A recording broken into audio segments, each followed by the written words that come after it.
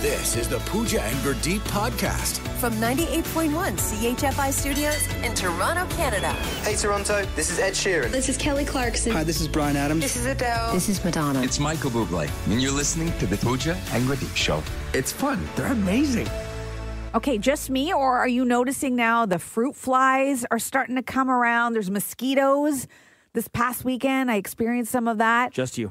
Just me. Nothing yet for I you? live in a condo. I haven't seen a fruit fly in 15 years. Really? yeah. But I leave my fruit out on the table uncovered, and it's pristine. You're such a rebel. You should see my apples. So does that mean that fruit flies just don't hang out at condos? I don't know if it's an elevation thing or what it is, but like I, you know, listen, I'm condo guy. I'm a big proponent of it. I've never seen a mosquito, a spider, a fruit fly, a mouse. Nothing in a condo, man. Nothing gets up there. Wow. Okay, we have very different lives because I like I feel like there's bugs, ants, all the things, and if you want to be bug free this summer, Move to a Babs- condo. Downsize. Exactly. The end. No, uh, for everyone else, Babs on TikTok, she's sort of known for her like homemade products that she makes and like it's supposed to work. And she says this is what you need to do for maggots, flies, critters, ants in your trash can. The word maggot just instantly. Anyone else? Like everything else you said was fine. Bugs, flies, whatever. But maggot makes me like know. makes the hair stand up. I, I don't know, know why. it reminds me of Fear Factor. For some reason, they put maggots in everything and made that like part of a challenge. I don't even know what a maggot is, but just the word. Oh, it's not good. You don't want to know, and you don't ever want them in your trash can. Uh, what she suggests you do is just take ground cinnamon and just go ahead and sprinkle that at the bottom of your trash can, on the lid of your trash can. So Keeps that- raccoons away so too. that the maggots are delicious. I don't get it. what? It's the cinnamon. It keeps them away. I don't know why. Uh, she also says take cinnamon sticks and put that in your fruit bowl with your fruit, and that will keep the fruit flies away. So insects don't like cinnamon? Apparently not. Why are, they, why are their taste buds so awful? I'm- Cinnamon's great. I'm not sure. And I don't know what it means for pets because there's certain pets they say that should stay away from cinnamon as well. So keep that in mind. Right. But this is a spray that she's come up with for mosquitoes. Listen. Just whisk in two teaspoons of cinnamon into four cups of warm water and let it sit out and let it steep like you would tea. Strain your cinnamon mixture right into your spray bottle. Mix in a half a teaspoon of rubbing alcohol and a half a teaspoon of dish detergent. Shake and spray. It'll keep mosquitoes away and it's safe for you too. Just spray away. Hmm, and it smells great. It sounded kind of delicious until the dish detergent. I was like, oh, I'll, I'll drink that tea. A- And you're going to smell like cinnamon. Like you're going to smell delicious. You put Right. it all over your patio furniture and everything, and it keeps the mosquitoes away. So when I used to live in a house, I remember it would just be like a bowl of vinegar, uh, open bowl of vinegar by the fruit bowl. We're not doing that anymore. This is Oh, better. That was so 1972. Wow. Okay. Cinnamon it is. Thanks, Babs. I'm moving to a condo. From CHFI Studios, It's the Pooja and Gurdeep podcast. Want to know what the hottest food trend of the summer is? It's swicy. I, that word is just fun to say. Swicy. Swicy. So swicy is you can guess sweet and, spicy. Yeah, and you have to say it like Jim Carrey from The Mask. Swicy. Swicy. And you know what? If you actually walk down any aisle in the grocery store, especially like the chip aisle, but even beyond that, like there's popcorn, the burger aisle, you will see spicy or something to do with spice, a little added boldness to all the flavor profiles of things that you're used to buying. it's a thing. My favorite pizza is called Sweet Heat. It is sweet and spicy, and Mm-hmm. it is just the perfect mixture of flavors. I feel like swicy is one of those terms that right now sounds weird. Like you probably, it doesn't roll off the tongue. But in a few months, Oh, this yeah. summer, And- everybody's going to be saying swicy. And listen, this is right in my wheelhouse. You know, I'm all about economy of words. I'm all about combining and shortening. Swi- swicy. It's sweet and spicy. Like, I love it, but it's nothing new to me. I've been doing this for years. Why didn't they go with speet? they tested it. It didn't It's test so well. speet, It's so guys. speet. I actually like that better. It sounds like spam. Okay, I've what do you got? Well, I've been yeah, I've been shortening words for years. Like you know, if if I'm getting like a sandwich, I love a little like custard or a little money sauce. What? What's custard or money sauce? I have no idea. Something to do with mustard and honey?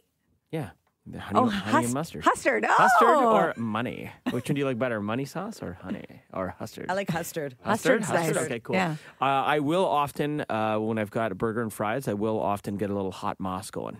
Hot moss, hot sauce, and Mayonnaise. Yeah. oh, I was going to say molasses. Little hot mots. Isn't that fun to say? Yeah. Okay. Uh, and then this one, you guys, the, I know you guys will love this one. A little cheoli. Cheoli. Cheoli. Cheoli. So it's like Cheoli. aioli and Chip, Chipotle. And Chipotle sauce. Mm, That would be so good. Mm, sounds mm, mm, mm, delicious. mm. Uh, you would be down with this one with some of your vegan creations, Pooch. A little soy sesame. A Oh, little soy sesame. little sesame and soy. Yeah. And finally, this is an unbeaten combination. You get a sandwich or a burger, you put a little chanchi on it. Chanchi? A Chanchi. little chanchi. No, that doesn't sound good. A little chanchi on it. Is it that will is ranch some? and Chili? ranch Chili and chili ranch? oil. Wow. Ranch and chili oil. Hold on. Little Hold on. Hold on. Chanchi will change your If whole life. If your sandwich goes chanchi, don't eat it. Don't eat it. Speed. The Pooja and Gurdeep Podcast.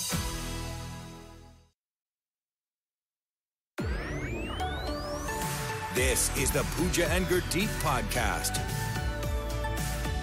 I'm a little nervous. Uh, after the show today, I am taking my kids to the dentist for the very first time. Both of them? Both of them at the same time. Maybe that wasn't smart. Is that I was going to say? Is that a good idea? Because are you as a as a parent uh, of a child who's less than two? Are you allowed to be in the like dentist room in the office during the appointment? I think I have to be. There's no way my kids are going to cooperate if I'm not in the room. How's that going to work with? They're not getting it done simultaneously. Then it'll be back to back.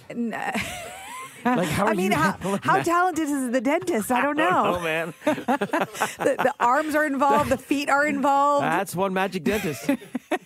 Uh, no, uh, my husband's coming with us. Ah, okay, good. Yes, I, this is man to man defense, not zone defense. That's Yeah. Uh-huh. how you have to deal with it when you have more than one child. Um, you can never be outnumbered. So uh, here's the problem right now. And people talk about terrible twos. Of course, they're not terrible, but they say that for a reason. Because at two years old, kids don't understand things. Like they can't process things. They think everything's a game. So, like, it's really hard to reason with them. And they're very much in their temper tantrum stage of life. both of them. Both of them. So everything's a meltdown. Uh, Bodhi's favorite word is no.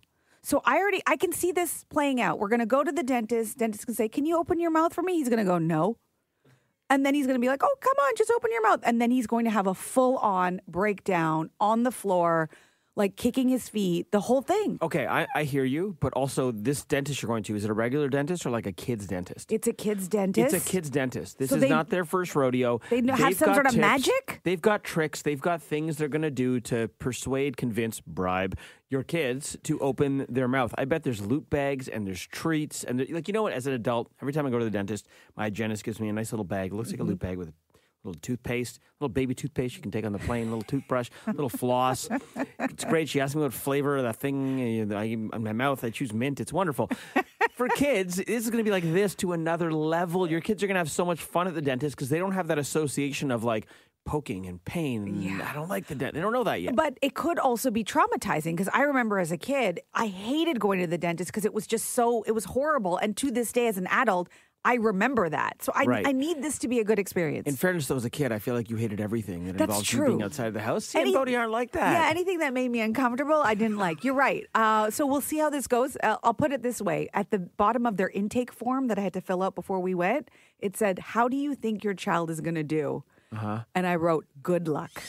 From CHFI Studios, It's the Pooja and Gurdeep Podcast. We're talking first, and this is because Pooja's kids, Sia and Bodhi, who are almost two, are going to the dentist for the first time today. I think you're more nervous than they are. They have no fear associated with it. yes, and thanks for all the advice on the text line. Everybody just telling me to be calm. If Yeah. I'm calm, then the kids will be calm. So I'm going to take that advice. And you're with Paul. I think he's going to be calm in the situation as well. He'll yeah, be fine. So some firsts are better than others. I'm not sure how this one's going to go, but there are some memorable good firsts. there's some great firsts. what's the when you think of your first first. What's the one that comes to mind? it's hard to not think about like babies, right? Like, you know, first time I met Sia, it's Sure. like I'm, I'm never going to forget that moment, right? So that's the first for me. What about for you? Um, I the first thing I go do is like first first slow dance with a girl. Really? That's the first thing I think of. Oh my God, that makes me sick to my stomach. really? Yeah. Because nobody asked me to dance ever. And it was just uh, like a very nerve wracking, embarrassing time in my life. But you tell me about your Well, first. like I had to ask. No one asked me to dance either. Like as the guy, I had to. Society dictates. I had to ask. and so, you might have got rejected. So that came with fear, I'm sure. Right. Okay. So in grade eight, and my first girlfriend. And Is that um, what you sounded like in grade eight? Yeah, that's right. and her name was Rosa, Okay. and we knew the last song was going to be "Kiss from a Rose" by Seal. So it was like our song. That was like my first our song. We had a song because was Rosa, "Kiss from a Rose." Loose tie-in, admittedly, but that was the first slow dance. We knew it was coming, so we were like, even though we were boyfriend girlfriend, we like avoided each other the whole dance. But when that song came on, we met on the dance floor. Was like the seas parted. Oh my goodness. And we danced. And I, I honestly, I didn't know what it was going to be like. And I remember feeling like, I hope this song never ends. Because I'm like, this is the Aw. greatest, this is the greatest thing ever. Really? And did you do the whole like you know distance between you when you're dancing? You oh, know. no, I was up in there. of course you were. Of course you were. No wonder you want to stay there forever. and did she enjoy it as much as you did? Whatever happened to Rosa? uh, well, I mean, it was grade eight. I mean, you move So, on. Yeah, I mean, I went You to mature. A, I went to a public high school. She went her own way, and that was it. But that was that was the first first I can think of. Yeah, there's so many great first What's stories. Yeah, you don't have one from when you were a kid? Um, I immediately just get nervous thinking about first. First for me are always scary because I'm, you know, I'm like timid and nervous about these Okay. things. When was the first time you felt nervous? Like, I didn't like going to school. I was like, I was that kid. This is the Pooja and Gurdeep podcast. what's the first thing you think of when you think of corn on the cob? Uh, The first thing that happens is, is in my mouth, I get that tingly feeling in the back. Does that for you, eh? Yeah, because I right away think about Indian street corn. Yeah. And like it gets that char, you do it on the barbecue, and it's all the spices, like a little bit of a spice rub, some lemon lime Masala, juice. black salt, all the things. all the things. Um, Forget butter. Like butter's good. Butter's but this good, is like there's- next level. It's like it kind it's somewhat similar to Mexican street corn, except it's basically just Indian spices. I think of Gerrard Street East because Gerrard Street East used to be Little India, and when we were kids, we'd get in the car and we'd come down to Gerrard Street on weekends, and we'd just walk up and down Gerrard Street, and they'd have the barbecues on the street, Mm. and they'd have that nimbu corn they call it. Nimbu is like lime or, or lemon juice, um, but corn on the cob not universally loved. Um, and producer Steph, I'm kind of with you on this. I love corn on the cob, so don't get me wrong. I don't like eating it on the cob. I Same. I love the roasting and the Yes. process, but I gotta cut it off. You got a corn stripper, you'll strip. It. I don't the- have a corn stripper, but Blair showed me when I'm buying one now. But um, I when I found out you could cut it because when I was little, we would just eat it off the cob. Right, so and it I all- hate all that stuff in your teeth I'm after. you. It's so I'm annoying. Like it, it has to come with like a floss pick Yeah. to get it out. It's hard to. the Yeah. problem is, is that my husband literally laughs at me every time. I'm like, "Can you cut it off?" And he's like, "Are you a child?" Yes. Like Why can't he's you cut it eating off yourself? Well, because he he's doing it on the barbecue, and so then that's how he presents it. And I'm like, "No, can you cut it off for me, please?" Can you cut my corn from? Yeah. It is hard to get that corn that gets stuck in your teeth, like back there. It just and then when you cut it, you get bigger chunks that you can. It's not just little niblets. Right. Right. Big fork Mm. of it. I don't know if this is gross or not. I've had a piece in the back of one of my jibs since 1986. I haven't been able to. See what I mean? Yeah. Yeah, annoying. Thanks for listening to the Pooja and Gurdeep podcast. Listen to Pooja and Gurdeep live weekday mornings from 5 to 9. Only on 98.1 CHFI. Toronto's perfect music mix.